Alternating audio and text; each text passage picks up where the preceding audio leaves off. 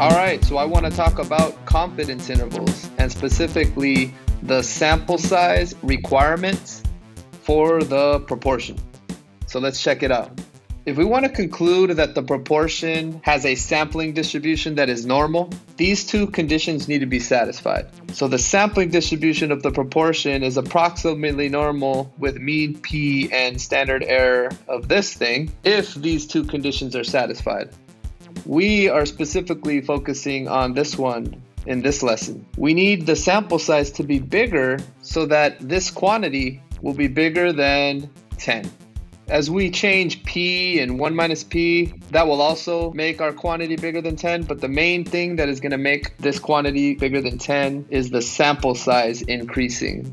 Which makes sense because as we gather more data, we have more information, and that makes the sampling distribution normal. To get a picture of that, I want you to consider the following image and think about the following question Do you have a dog?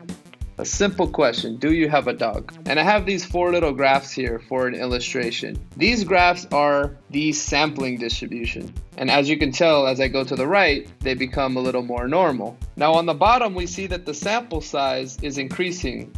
Here we have samples of size 1, size 2, size 3, and size 4. Let's take a look at this picture right here. When the sample size is 1, I have possible sample proportions equal to either 1 or a sample proportion equal to 0.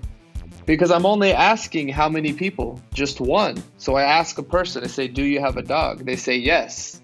Okay, so then the proportion of people in that sample that have a dog is 1. I ask another sample of size 1, Do you have a dog? He says no. Proportion is 0. Did you get it? The only possible options are 0 and 1 when you take samples of size 1. But as I increase the sample size to size n equals 2, well now I can get a I can get a sample with two people where one of them has a dog and the other one doesn't. So now I have one half. So I have possible sample proportions. P hat equals to 1, P hat equals to 1 half, and P hat equals to 0. You see what's happening as the sample size is increasing? Well, now I ask three people, do you have a dog?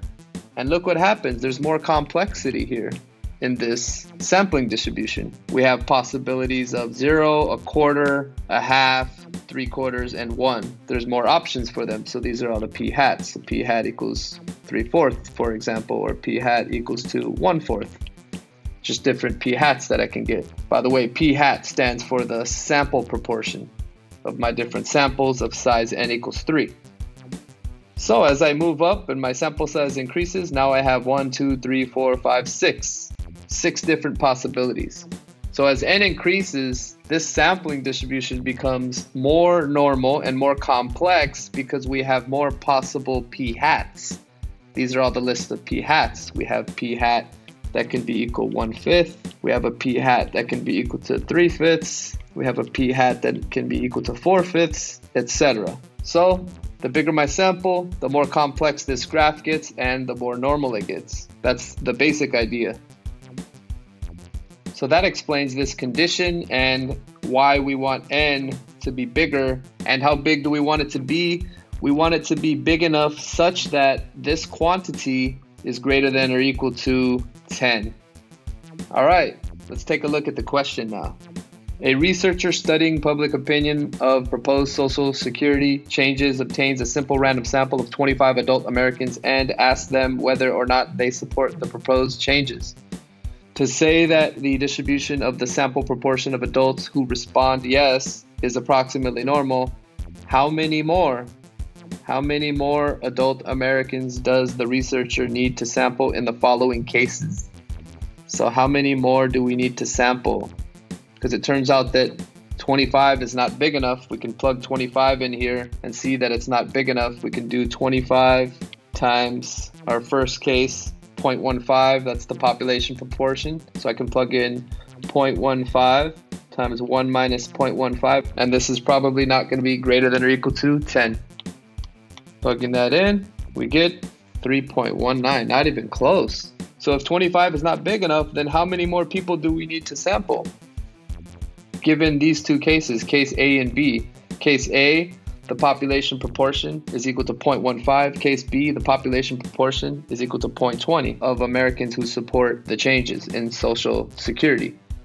Let's look at this formula a little closer and realize that for the sample size, we can say 25 plus x. And we can use that for the sample size, where x is the additional amount of people that we need to sample in order to get this quantity to be greater than or equal to 10.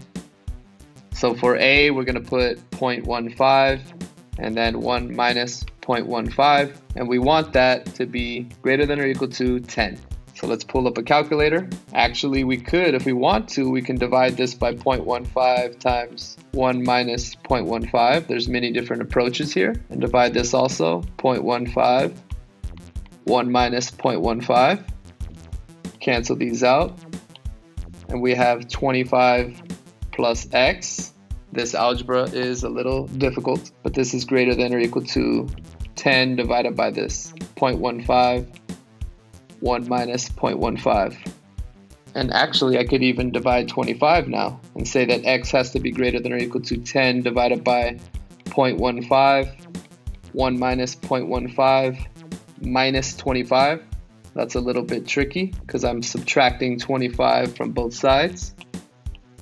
I'm going to make that orange for you to remind you that we subtracted that from both sides. So all we have to do is plug this into a calculator and that will tell us how many more people we need to sample because that is x. So back to our calculator. 10 divided by parentheses 0.15 times 1 minus 0.15 end parentheses and then end parentheses again. Press enter. It's 78 minus 25 and we're going to get that x needs to be greater than or equal to 53.43. So we're going to say that x has to be greater than or equal to 54 because we know that we need more than 53.43 people. So then we're going to need pretty much, we can say that the answer is equal to 54. And we need to sample 54 more people in order to guarantee that the sampling distribution will be approximately normal because of this condition that n times p times 1 minus p needs to be greater than or equal to 10. So if we start off with 25 people and we add 54 more people, this condition will be satisfied. In fact, we could even test it. If we make, let me make some room for myself here. Check this out. If I take 25 plus 54, what's that, 79? So if I multiply 79 times 0.15, 1 minus 0.15, that should be greater than or equal to 10 and barely greater than or equal to 10 because that's the minimum amount of people that we need to sample in order to guarantee that this condition is satisfied. Let's check it. 79 times 0.15, 1 minus 0.15. What do we get? 10.0725. Beautiful. This equals to 10.0725. So yeah, that's greater than or equal to 10. So turns out that we need 79 people or 54 more people because we started with 25. All right. Hope that helps.